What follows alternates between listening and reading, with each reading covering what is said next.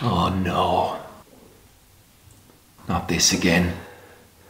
How were you getting stage fright? You're at home.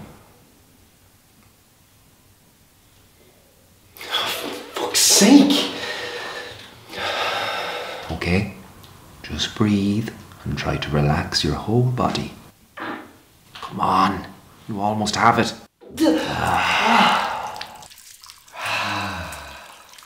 Good boy.